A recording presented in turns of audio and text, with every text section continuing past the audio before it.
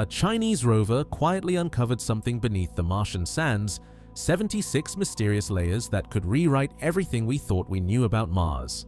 For decades, Mars was seen as a cold, dead world, but China's first interplanetary mission, Tianwen-1, changed that story. Beneath the dusty plains, scientists detected signs of ancient floods, buried ice, and salty crusts, evidence that liquid water may have lingered here far longer than anyone expected. And, if water was there recently, what else might have been?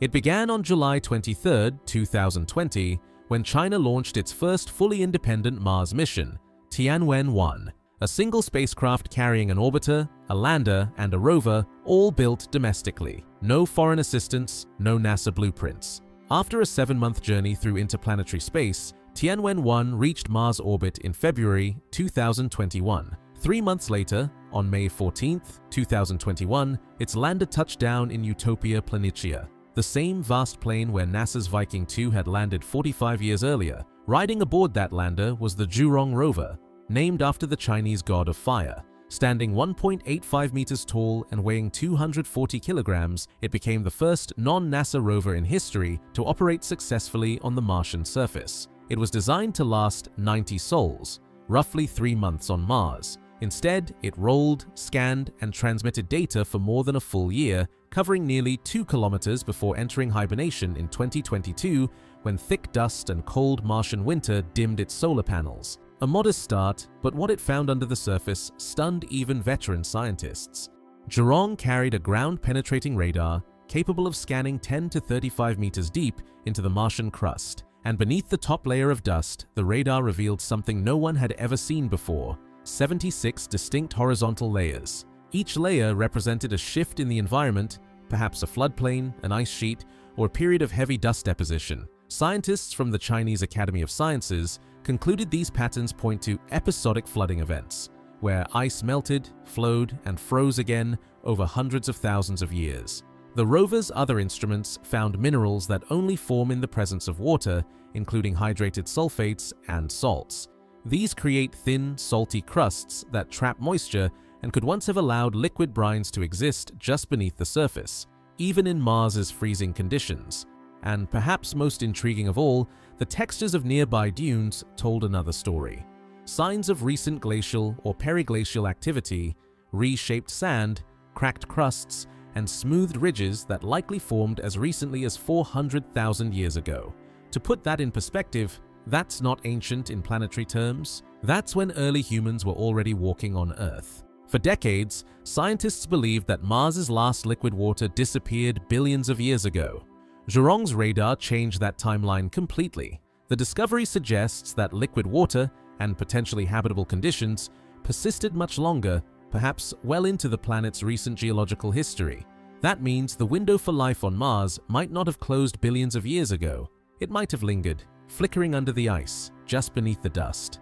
And that single finding, from a rover few expected to succeed, has reframed the entire search for Martian life. Because now, the question isn't whether Mars ever had water, it's how long it lasted, and whether something might still be hiding down there.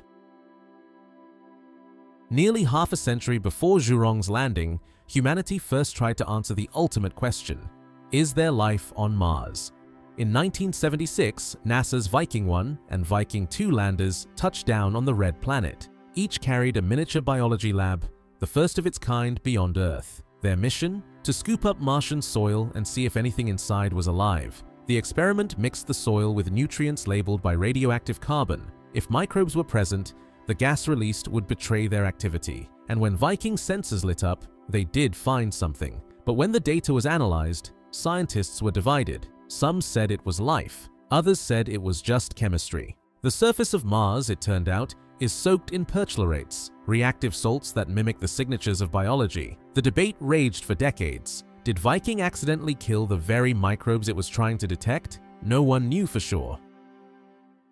Mars wasn't always this cold red desert. In fact, its climate has swung wildly over millions of years, from icy stillness to bursts of flowing water, all driven by a natural rhythm written into the solar system itself. Scientists call these shifts Milankovitch cycles, predictable wobbles in a planet's motion that change how sunlight falls across its surface. And Mars, with its unstable orbit, feels these cycles even more dramatically than Earth does. First, eccentricity. Every 100,000 years or so, Mars's path around the Sun changes shape. Sometimes it's nearly circular, other times it stretches into a long ellipse, bringing the planet much closer to the Sun on one side and much farther away on the other. When that happens, the difference between summer and winter becomes extreme. One hemisphere bakes while the other freezes.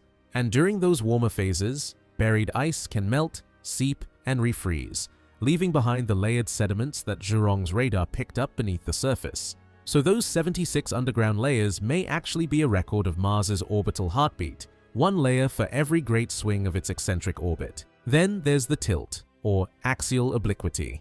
Right now, Mars tilts at about 25 degrees, almost the same as Earth. But unlike Earth, Mars doesn't have a large moon to steady it. Over hundreds of thousands of years, its tilt can swing between 15 and 35 degrees, a massive wobble that completely reshapes its climate. When the tilt grows larger, sunlight reaches deeper toward the poles, melting polar ice caps and pushing vapor and frost toward the equator.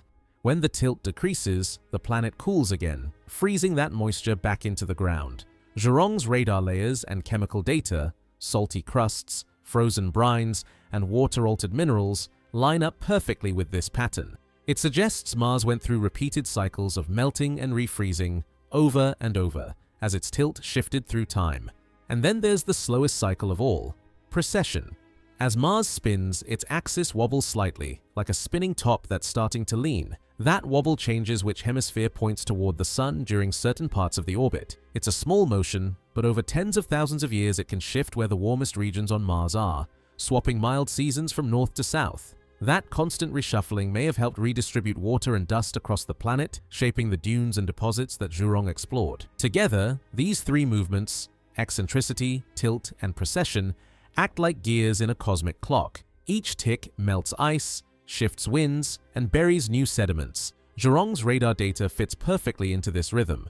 The 76 underground layers may represent cyclical periods of melting and refreezing, each layer a snapshot of a warmer, wetter Mars, repeating over hundreds of thousands of years. That means these floods weren't random events.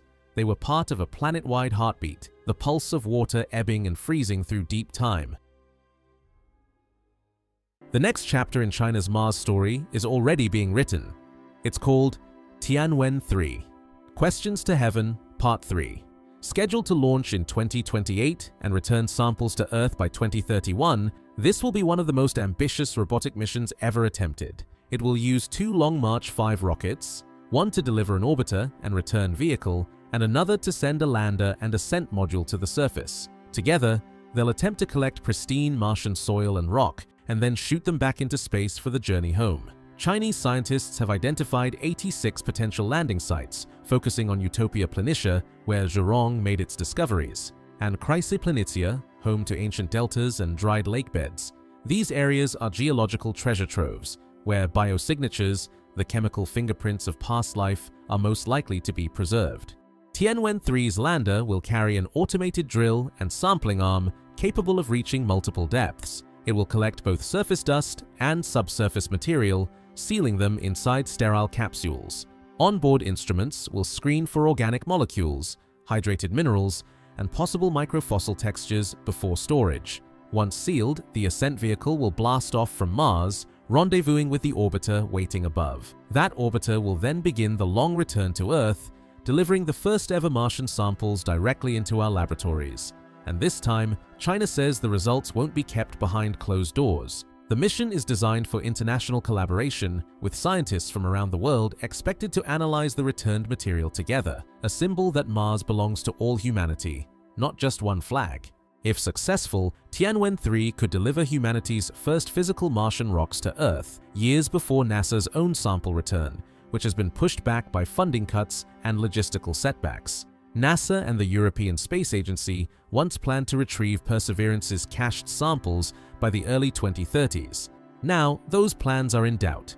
That opens a narrow but historic window for China to seize the lead. If their samples reach Earth first, and if they contain even a trace of organic chemistry, it would be nothing short of revolutionary. For the first time, we wouldn't just be looking at Mars through robotic eyes, we'd be holding pieces of it in our hands, perhaps holding the story of life itself. While Zhurong slept beneath the dust of Mars, back on Earth, China was already building Mars. In the Gansu province, on the edge of the Gobi Desert, stands Mars Base 1, a $61 million facility built in 2019. Its red sand hills, pressurized habitats, and glass-domed greenhouses make it one of the most realistic Mars simulations on Earth. Originally launched as both a training ground and a tourist attraction, Mars Base 1 hosts Chinese students and astronauts in training to rehearse what life on the red planet could be like, complete with mock airlocks, solar labs, and even simulated dust storms.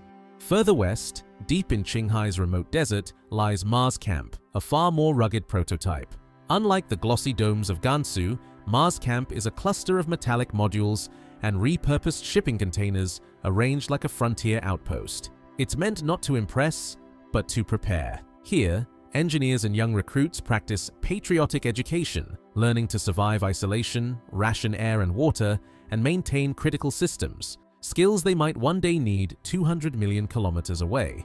Together, these two Earthside bases mark the first stage of China's Mars colonization plan, building the mindset before building the mission. And the roadmap itself is already drawn.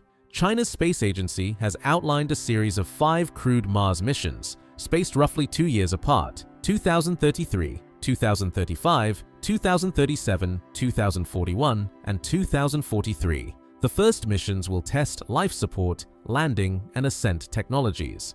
Later ones aim to establish permanent surface habitats and in situ resource extraction, using Martian soil, ice, and atmosphere to produce fuel and oxygen. To get there, engineers are designing a nuclear-powered spacecraft, not a science fiction concept, but a real propulsion system already under development. A nuclear thermal engine could offer double the efficiency of chemical rockets cutting travel time to Mars nearly in half while providing constant onboard energy for the crew. But propulsion is only half the equation. The other half is logistics, getting the sheer mass of equipment into orbit. That's where the vision of a sky ladder comes in, a theoretical space elevator stretching from Earth's surface up to low Earth orbit, built using ultra-strong carbon nanotubes. In theory, cargo could be ferried into space at a fraction of today's cost, no rockets, no fuel, just gravity and counterweight. It sounds impossible, but the same was once said about reusable rockets and landing on the far side of the moon, both things China has already done. While China's ambitions are methodical and state-driven, on the other side of the Pacific, another contender is racing toward the same goal, Elon Musk and SpaceX. Musk envisions a self-sustaining Martian city of 1 million people by around 2050, ferried there by a fleet of starships each capable of carrying 100 tons of cargo. China's plan is more centralized, slow, and strategic, fewer risks, fewer public updates, but immense coordination between government, military, and private industry. SpaceX's approach is the opposite, rapid iteration, transparent testing, and public trial and error. Different philosophies, same bottleneck, how to move vast amounts of mass into orbit and then across the void to Mars. Whichever system cracks that problem first reusable rockets, or a sky-high elevator could define the next century of space travel. The next great leap is already on the calendar. By 2031, Tianwen-3 will return the first ever Martian samples to Earth. Inside those tiny sealed capsules may lie the answer to one of humanity's oldest questions. Are we alone? If China brings back the first evidence of life beyond Earth, even a single microfossil, a molecule, or a hint of biology history will remember that moment forever. But this story isn't over. Because as China prepares to bring Mars home, it's also preparing to go there itself. So the question now becomes, what happens if China colonizes Mars before anyone else? Subscribe to the channel for the next chapter and tell us in the comments, do you think life still hides beneath the Martian surface?